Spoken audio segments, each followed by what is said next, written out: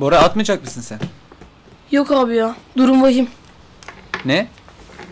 Ne giyeceğiz biz nikahta? Nereden çıktı şimdi bu? Şimdi çıkmadı ki. İlk günden beri aklımda. Smoking giydirmezler değil mi? Saçmalama. Vallahi olur ha. Cici anne bastırırsa.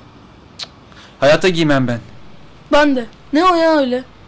Yok abi smoking bozar bizi. Evet ya. Düşünsene. Babam. Babamın yanında ben. Benim yanımda da sen. Benim yanımda da Naz. Gelinlikle. Öyle bir de fotoğraf video çekerler. Naza sökmez o ya. Vallahi nasıl sökmez de. Babam bize bir fırça geçerse eşek gibi giydirirler. Ya oğlum nereden kafama soktun şimdi bunu ya? Biz hazırlıklı olalım. Cici anne potansiyel valla. Nereden çıkarıyorsun böyle şeyleri?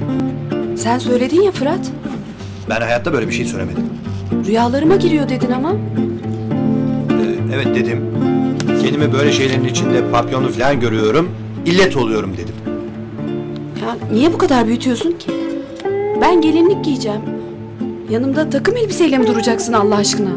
Olmuyor mu yani? Olmaz Fırat. Kusura bakma ama 80'lerde kaldı o senin dediğin takım elbiseli düğünler. Hem ne var altı üstü bir smokin seçeceksin o kadar. İyi tamam. Benim bir smokinim var. Onu giyerim olur biter. Tamam. En azından onu bir kuru temizleyiciye götür bari. İyi tamam hallederim ben. Sen takma kafana. Sen gelinliğini hallet. İnat, inat. Aynı çocukları gibi.